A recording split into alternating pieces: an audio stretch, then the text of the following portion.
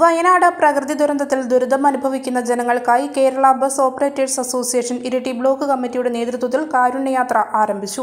Iritty bus സ്റ്റാൻഡിൽ നിന്ന് ആരംഭിച്ച കാരുണ്യയാത്ര ജില്ലാ panchayat vice president Binoy Kurian flag off ചെയ്തു.